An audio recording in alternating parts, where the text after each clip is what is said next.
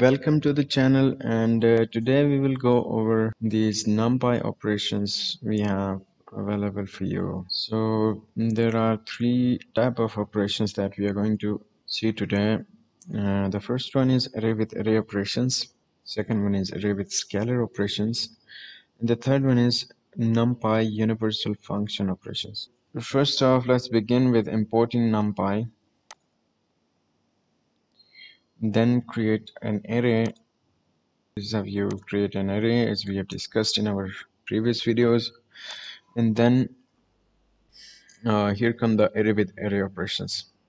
These are few of the operations that you can perform uh, on arrays with arrays. For example you can add two arrays. First array this is the second array. This can be any other array as well. For example let me say arr2 np dot arange 11 uh, something you have to be careful about is these two arrays should be of the same length. They should contain the same number of elements. Because if you have elements with different lengths numpy won't be able to perform broadcasting it. As you can see okay my bad. First we have to do this and then do this. So now it does add these two uh, these two arrays together. Similarly we can subtract and the arrays and then we have the multiplication. We can also perform this. And the other thing that you have to be careful in numpy is it will throw a warning like this.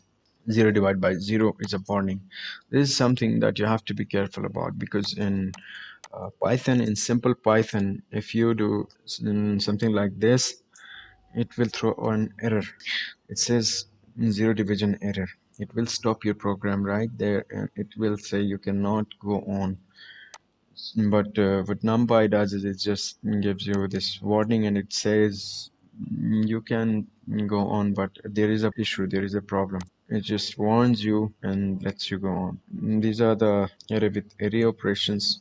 Okay we can do a revision. The next thing is array with scalar operations. Scalar is any number that you have we can perform these operations with ARR let me just zoom in a bit for you.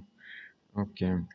ARR plus 2 if you do this or plus 100 you'll see that it adds 100 to each and every element of this array. If we do ARR minus 1 we'll subtract 1 from every element of the array and similarly you can perform uh, the addition multiplication division or this taking exponents uh, exponentiation of these elements. You can perform all these with uh, numpy arrays the scalar operations. And uh, what this does is it says uh, arr raised to the power 2 this double static means raised to the power 2 so if we run this you'll see that what it does is gives you these elements the original elements raised to the power 2 0 raised to the power 2 is 0 then 1 and uh, we have 2 raised to the power 2 4 and so on. 10 raised to the power 2 is 100 we can do all these operations here. So the next thing that we will see is the universal functions. So universal functions are something yeah, that we regularly need in our operations we can do np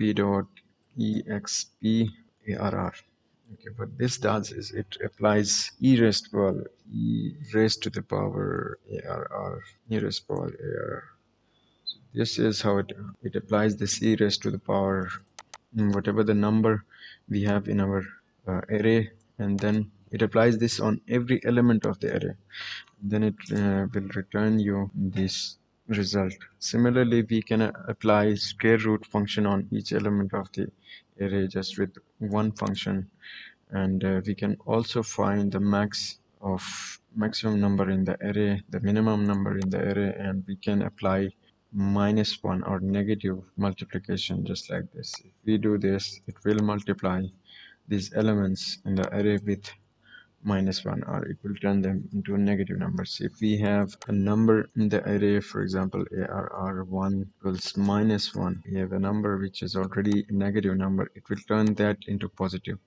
So this is a handy method that you can keep in mind. Another thing is we have all these uh, trigonometric functions available to us. Sine cosine tan and cotan and all these functions that are uh, available to you in numpy. We can just say np dot sine np dot cos np dot tan and as a parameter provide the array. It will apply this function to each and every element of this array and uh, give you the result. We can also do a log. Okay the trick here with log is that a log of 0 is negative infinity. So it will also throw this error here.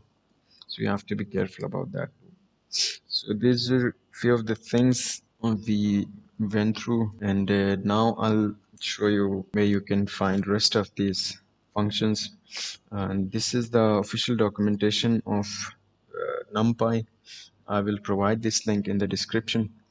And uh, if you scroll down a bit you will see that all these functions that few of the functions I went over rest of all these functions they are listed here. You can see that we have add subtract multiply matrix multiplication division all these functions. We have uh, trigonometric functions the list of all these functions are here and uh, bitwise functions.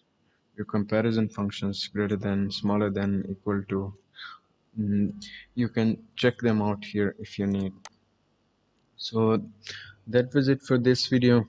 In the next video we will go over few practice problems and uh, see the solutions as well. So stick around for that video. Don't forget to subscribe and like this video.